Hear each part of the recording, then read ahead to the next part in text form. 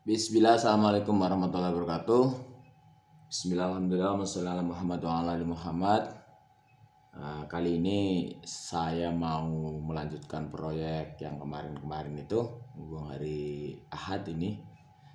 Nah, ini di tangan saya ini, ini adalah Bardi Smart Breaker atau ya sejenisnya lah ya.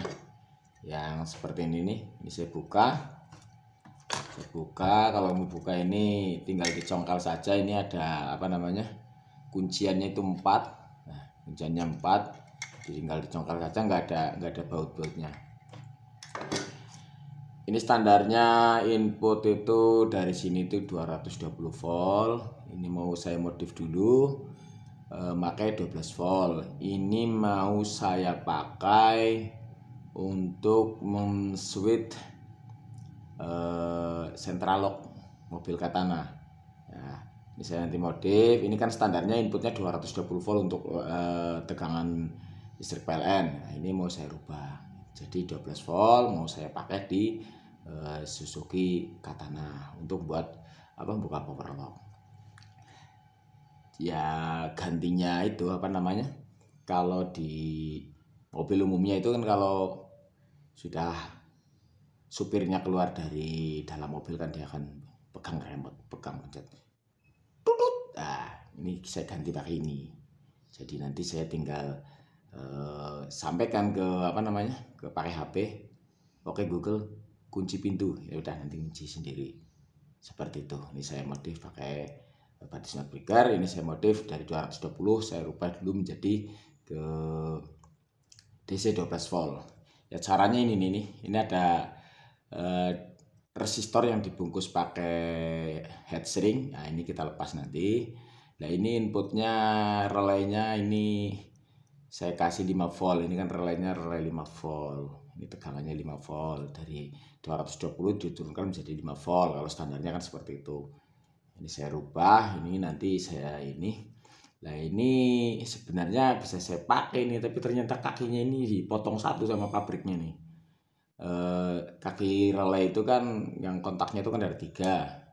Yang tengah itu common normally normally close normally open. Nah ini yang sebelah ini dipotong jadi cuma ada common sama normally apa normally close saja ini kayaknya cuma ini akhirnya.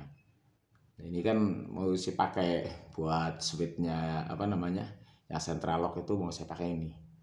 Nanti kita lihat dulu kalau ini ya saya ini lagi relaynya saya tambah lagi. Karena ini udah dipotong kakinya satu. Kalau belum dipotong bisa saya pakai. Langsung saya pakai eh, kaki relaynya itu kan ada tiga ini kaki yang untuk kontak itu bisa saya pakai semua ini. Tapi ternyata udah dipotong satu dari pabriknya. Ini saya coba.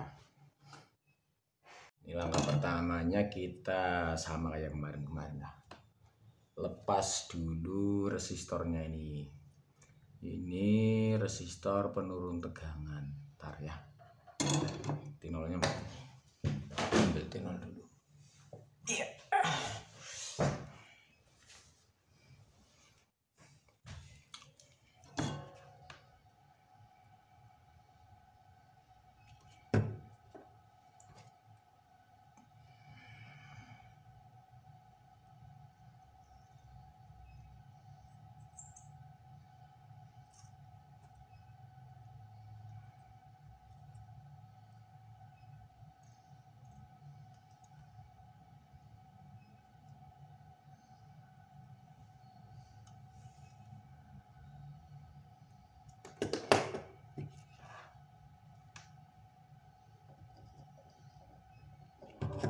jam 10 pagi.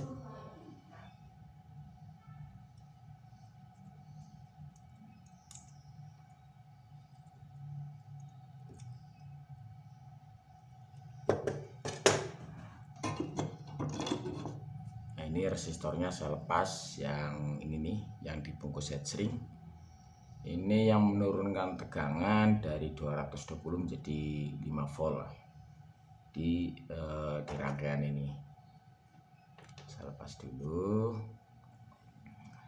Habis itu saya tinggal mengganti supply-nya ini. Supply-nya saya ganti dengan 5 volt.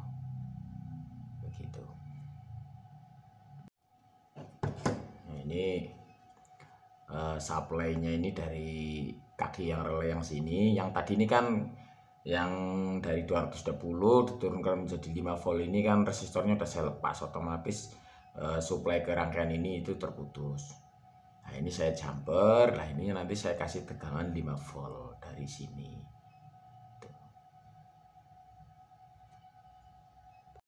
Ini step downnya seperti biasa seperti kemarin-kemarin kita set 5 volt. Eh, kita set 5 volt karena relaynya ini relay yang digunakan ini 5 volt.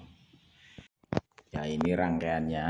Ya ini udah saya rakit ini uji coba. Uji coba ya.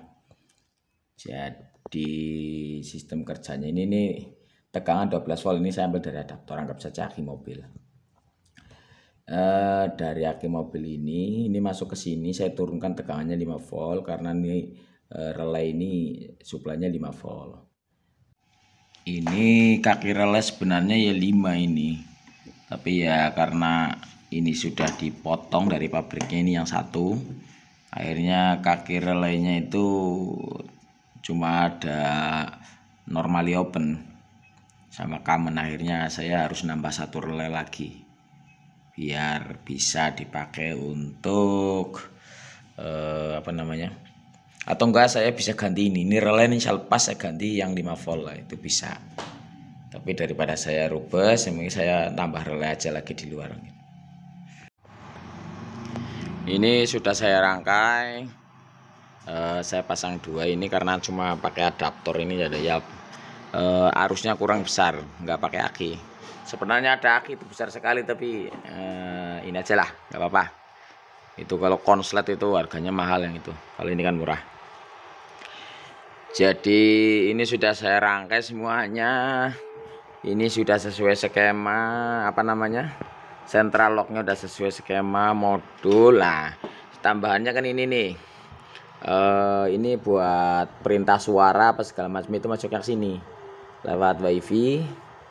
Nah ini di dalam seperti sebutkan tadi itu ada relaynya tapi sayang relaynya kakinya itu dipotong satu. Jadi akhirnya saya harus nambah sendiri relay di sini nih.